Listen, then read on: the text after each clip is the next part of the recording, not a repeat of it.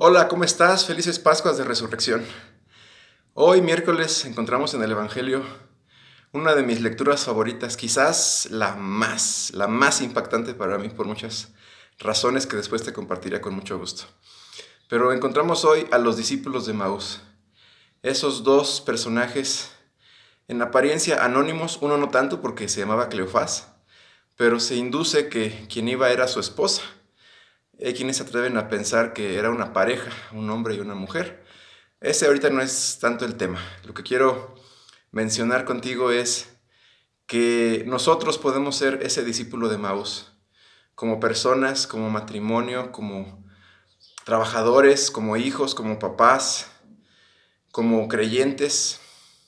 Podemos ir caminando, pero ya sin un sentido. ¿Tiene sentido tu vida todavía? Es una pregunta muy profunda.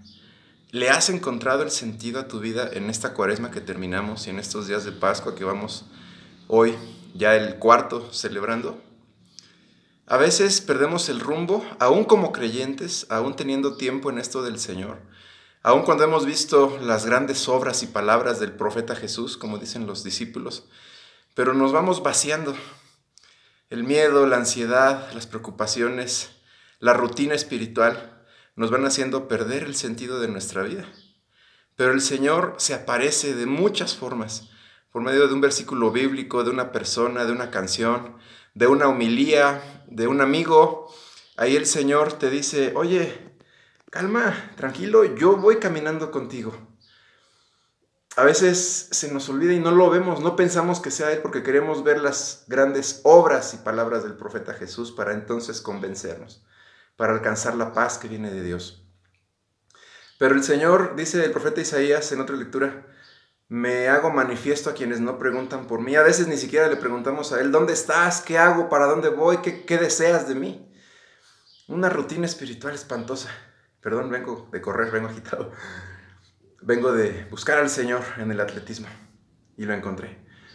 Entonces, hoy me quedo todavía más específicamente en una parte que dice ese hombre que no es Jesús, ese Cleofás. Algunos de los nuestros fueron inquietos por lo que las mujeres decían, pero no encontraron nada. Y algunos de los nuestros, bueno, si nos vamos al Evangelio de Juan, sabemos que era Pedro y Juan. Pero actualmente como iglesia podemos estar así también como Cleofás. Uno de los nuestros, nuestro Pedro, nuestro querido Papa Francisco, nos va ayudando a caminar, nos va guiando, pero aún así no le creemos.